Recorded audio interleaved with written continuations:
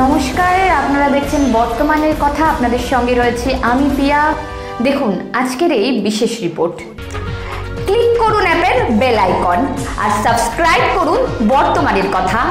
সব সময় থাকুন খবরে।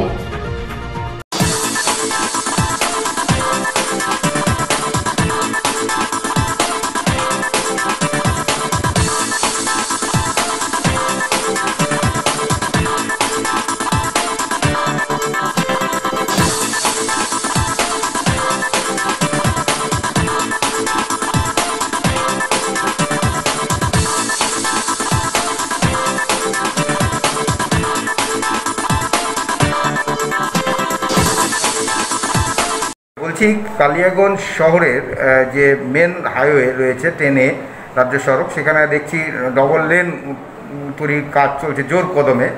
এই প্রক্রিয়াটা কবে শেষ হবে এবং এই করতে কত টাকা ব্যয় হচ্ছে? আপনারা এটাকে কীভাবে করছেন? পশ্চিমবঙ্গের মাননীয় মুখ্যমন্ত্রী মমতা বন্দ্যোপাধ্যায়ের অনুপ্রেরণায় এবং আমাদের যে পূর্ত দপ্তর আছে পূর্ত দপ্তরের মাননীয় মন্ত্রী অরূপ বিশ্বাস মহাশয়, আমি তার কাছে যখন প্রেয়ার করি শহরের দুটো রাস্তার জন্য একটা আমাদের কে কে হাট রোড যেটা আমরা বলি, কালিগঞ্জ কুন্ডুর হাট রোড, একটা আমাদের এস এইচ টেনে যেটা এনএস রোড বলি আমরা, এই দুটো রাস্তা একটা রাস্তা পিডব্লিউডি রোডস একটা রাস্তা পিডব্লিউডি দুটো রাস্তাই আমাদের খুব গুরুত্বপূর্ণ। তো প্রথম দফায় যখন আমরা প্রেয়ার করি, তখন আমাকে মাননীয় মন্ত্রী বলেছিলেন যে দুটো রাস্তা একবারে সম্ভব অনেক টাকার ব্যাপার। প্রথম অবস্থায় আট কোটি টাকা দিয়ে আমাদের যেটা কালিয়াগঞ্জ কুন্ডুর হাট রোড, সেই রাস্তার কাজটা শুরু হয়েছে। শুরু হওয়ার সময় তিনি কথা দিয়েছিলেন যে মার্চ মাস পার হয়ে গেলে তারপর আবার নতুন করে রাস্তাটা স্যাংশন দিবে। এবং তিনি তার কথা রেখেছেন, আমাদের প্রথম যে রাস্তাটা, সেটা প্রায় শেষের দিকে। বিভিন্ন সমস্যা, বিশেষ করে করোনা ভাইরাসের সমস্যা লকডাউন এই নিয়ে খানিকটা কাজটা থমকে রয়েছে। এবং সেই রাস্তার যেটা বিউটিফিকেশন হচ্ছে, সেটা মিউনিসিপ্যালিটি নিজে করছে। আলোকসজ্জার কাজটা পুরো করছে, তার সাথে এখন বিউটিফিকেশন হবে, সেটা মিউনিসিপ্যালিটি করবে অলরেডি সেই কাজটা শেষের দিকে। এবং কালিয়াগঞ্জ শহর ছোট্ট শহর এবং কিন্তু খুব ঘিঞ্জি হয়ে গেছিল। ঘিঞ্জি হয়ে গেছে বলতে সেখানে আমাদের যে শহরের মূল সড়কটা, যেটা এস এইচ টেন এ, যেটা রায়গঞ্জ থেকে শুরু করে যেটা একদম সুদূর বালুরঘাট অব্দি চলে গিয়েছে, সেই রাস্তাটা মূল সড়কটা আমাদের শহরের উপর দিয়ে গিয়েছে।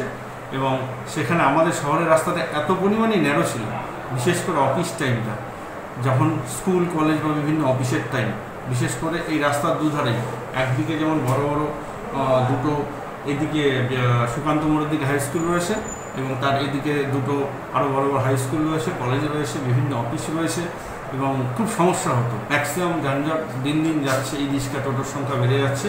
সেই জায়গাটায় দাঁড়িয়ে আমাদের এই রাস্তাটা সংস্কার খুব দরকার ছিল। কিন্তু এই রাস্তাটা সংস্কারের প্রথম বাধা হয়ে দাঁড়ায় যে পিডব্লিউডির জমি অনেকটা এনক্রোচমেন্ট ছিল এবং কিছু কিছু জায়গায় পিডব্লিউডির জমির পরিমাণটাও কম ছিল। এবং সেই ক্ষেত্রে আমরা প্রথমে ব্যবসায়ী সমিতির সাথে আলোচনা করি, তারপরে এনএস সংলগ্ন সমস্ত ব্যবসায়ীর সাথে আলোচনা করি এবং আমি তাদের কৃতজ্ঞতা, ধন্যবাদ দিচ্ছি এই কারণে। তারা নিজের ক্ষতি স্বীকার করে তারা কিন্তু সবাই পিছিয়ে গেছে এবং সেখানে আমরা পৌরসভার থেকে প্রায় সাত কোটি টাকা ব্যয় শহরের মূল রাস্তার দুধারে আমরা ড্রেনটা নির্মাণ করেছি। যে কাজ মোটামুটি শেষের দিকে আর এক দেড়শো কিলোমিটার হলে কাজটা সম্পূর্ণ হবে এবং তার সাথে আমরা মাননীয় মুখ্যমন্ত্রীকে যে অনুরোধ করেছিলাম, সেই অনুরোধে সাড়া দিয়ে প্রায় তেইশ কোটি টাকা ব্যয় আমাদের শহরের বুকে ফাইভ পয়েন্ট টু কিলোমিটার রাস্তা, যে রাস্তাটা শুধু রাস্তা হবে না, রাস্তার সাথে ডিভাইডার হবে এবং তার সাথে কিছুটা আমরা ফুটপাত করার চেষ্টা করছি পেভার ব্লক দিয়ে, যাতে পথ চলতি মানুষের কোনো অসুবিধা না হয়, তারা সম্পূর্ণ নিরাপত্তায় যেন রাস্তায় হাঁটতে পারে এবং তার সাথে প্রায় দেড় কোটি টাকা ব্যয় আমাদের আলোকসজ্জারও কাজ চলবে শহরের মূল রাস্তায়। এবং তার সাথে সৌন্দর্যায়নও করব এবং শহরের বিভিন্ন জায়গায় বিভিন্ন মনীষীদের মূর্তি আমরা বসানোর যেমন চেষ্টা করব। যেমন সুকান্ত মোড় যেখানে নাম ছিল, সেখানে সুকান্ত মূর্তি অবশ্যই বসবে। বিবেকানন্দ মোড়ে সাময়িকভাবে হয়তো মূর্তিটা সরাতে হবে, তারপর আমরা সেখানে স্বামী বিবেকানন্দের মূর্তি স্থাপন করব। আরও শহরের সৌন্দর্যায়নের জন্য যা যা করার করব। কিন্তু আমাদের একটু দুর্ভাগ্য, এই novel corona virus COVID nineteen যার জন্য কাজটা প্রায় চার মাস থমকে আছে।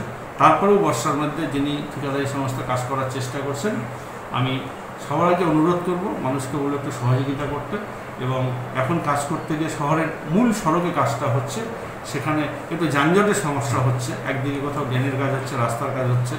আমি পুলিশ প্রশাসনকে যেমন ট্রাফিকের ডিউটি যারা আছেন তাদেরও অনুরোধ করেছি এবং সাধারণ মানুষকে অনুরোধ করব যে হয়তো এখন ওই রাস্তাটা দিয়ে বেশি না ভিড় করে আমরা যদি ডাকবাংলা রোডটাকে বেশি চালু রাখি, তাহলে তাদেরও কাজ করতে সুবিধা হবে।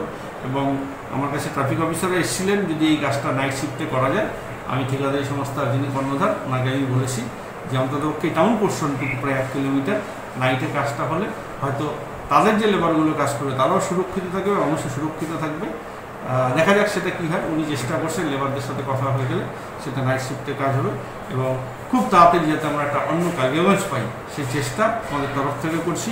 তার সাথে এটাও অনুরোধ আবার বারে বারে রাখছি যে করোনার প্রকোপটা দিন দিন বেড়ে যাচ্ছে, সবাই মাস্ক পরুন। সরকারি যে সমস্ত নির্দেশিকা আছে সেটা মেনে চলুন। যখন লকডাউন হবে লকডাউনটা পূর্ণভাবে মানুন এবং তার সাথে আপনাদের যে হাত ধোয়া স্যানিটাইজার বা বিভিন্ন ইউজ করা বা সাবান জল, সেটা যেমন করবেন এবং বাড়ির খুব প্রয়োজন হলেই বেরোবেন, তাছাড়া বেরোবেন না এবং ডেঙ্গু নিয়েও আমাদের সচেতনামূলক কাজ চলছে, বাড়ি বাড়ি সার্ভে চলছে, তাদেরও সহযোগিতা করুন। কারণ মানুষের সামনে এখন একটার পর একটা বিপদ। একদিকে করোনা, একদিকে ডেঙ্গু। এবং অনবরত মার্চ মাস থেকে বিভিন্ন জায়গায় মানে বিশেষ করে কালীগঞ্জের বিভিন্ন জায়গায়, কিছু কিছু জায়গায় এখনও জল হয়তো কমে যাচ্ছে, আবার হয়ে যাচ্ছে, এত পরিমাণ বৃষ্টি হচ্ছে। মানে সত্যি চারদিক দিয়ে আমাদের বিপদ। এখন মানুষ, আমরা সবাই মিলে একসাথে কাঁধে কাঁধ মিলিয়ে কাজ করে যাতে আমাদের শহরটাকে সুরক্ষিত রাখি। সেই চেষ্টা পৌরসভার থাকবে, শুধু পৌরসভা না, পৌরসভা বলতে আমরা সবাই কালীগঞ্জের জনসাধারণ, আমাদের সবারই চেষ্টা থাকবে এবং তার সাথে আমরা এই ক্যারি ব্যাগ যে ক্যারি ব্যাগটা আমাদের পরিবেশকে নষ্ট করে দিচ্ছে সেই ক্যারি ব্যাগটা ব্যবহার যেন আমরা পুরো বন্ধ রাখি ব্যবহার করলে সেটা অবশ্যই যেন পঞ্চাশ মাইকেল হয় নইলে আমরা বাড়ির থেকে ব্যাগ নিয়ে গিয়ে আমরা বাজার করব যাতে আমরা এই ক্যারিব্যাগটা ব্যবহার না করি সেটা আমি সর্বস্তরে সাধারণ মানুষের কাছে অনুরোধ রাখব এটা করোনা ভাইরাসের জন্য আটকে গেল কারণ আমাদের যেটা সবচেয়ে বড় সমস্যা যে কোনো রাস্তা করতে গেলে এনক্রোচমেন্টটা একটা বিরাট ব্যাপার সেই জায়গাটায় আমাদের সেই জায়গাটা ক্লিয়ার রয়েছে এখন শুধু কাজ করা এগিয়ে নিয়ে যাওয়া সময়ের অপেক্ষা প্রচুর বাধ্যকতা একদিকে বর্ষা চলছে বৃষ্টি একদিকে এই মাঝে মধ্যে এই লকডাউন বিশেষ করে একটা না প্রায় তিন মাসের মতো লকডাউন ছিল সেই জন্যই আমরা পিছিয়ে গেলাম। আশা করি যে কাজটা আরও দ্রুত গতিতে এগোবে একটু পরিস্থিতি করোনাটা সামনে নিলে কাজটা আরও ফাস্ট এগোবে। আচ্ছা বলছি কালিয়াগঞ্জে বহু উন্নয়নমূলক কাজগুলো তৈরি হয়ে রয়েছে অথচ উদ্বোধনের একটা অপেক্ষায় রয়েছে। সেই উদ্বোধন কবে হচ্ছে বিভিন্ন প্রকল্পের কাজ?